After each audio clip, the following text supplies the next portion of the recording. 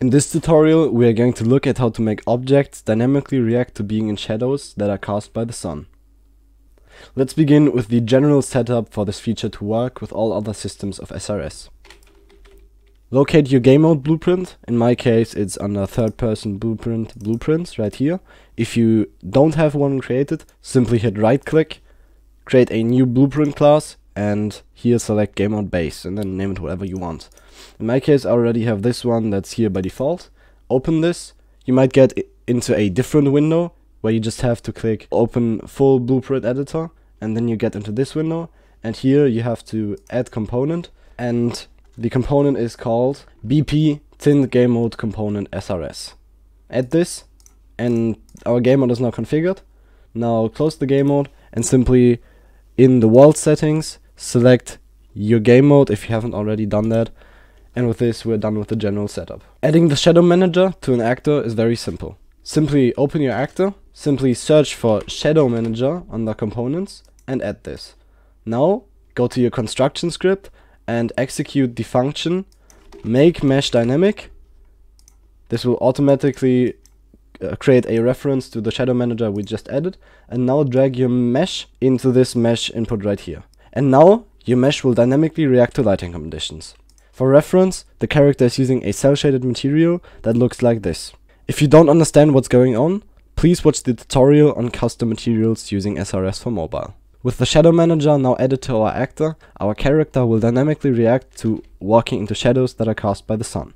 We can also customize how this effect appears. Go back into your character, open the shadow manager blueprint, and here you'll find three categories. Let's look at the visual parameters first. The tint is a tint that gets applied to your entire character. So if we make this a bit darker, and then walk into the shadow in game or drag our actor into shadow, you'll see that our actor will get significantly darker. The shadow intensity parameter controls the intensity of these shadows. If you set this to 1, the shadows will appear pretty much as they did before, only being darkened through the tint parameter. If you set this to 0, the shadows will disappear. The other parameters control the scale of the highlights and rim lights and the shadows.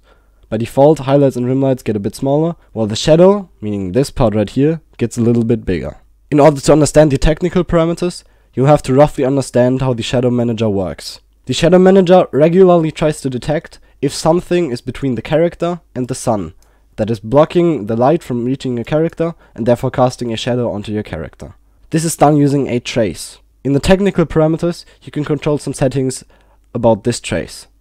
The first is the trace length. It simply controls how far this trace should go until it just says, okay, we didn't hit anything, let's stop checking.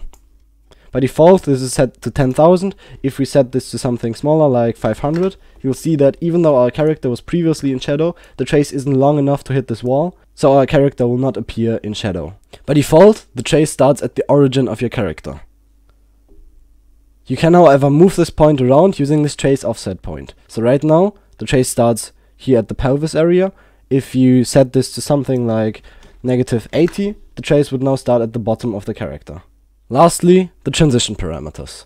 The time between checks parameter controls how regularly this trace that checks if something is between the character and the sun should be done. Reducing this value will make the reaction to shadows a bit snappier, however it will come at the cost of performance. The fade duration parameter controls how long it will take for the character to fade into being fully shadowed or not shadowed at all.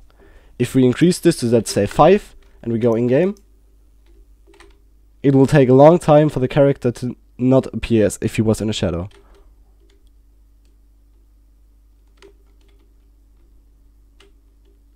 If you like the reaction to be very snappy, note that you cannot set the fade duration to something smaller than time between checks. So right now with time between checks at 0.5 seconds, 0.5 is the fastest we can have. We could however decrease the time between checks, so the reaction is a bit more snappy.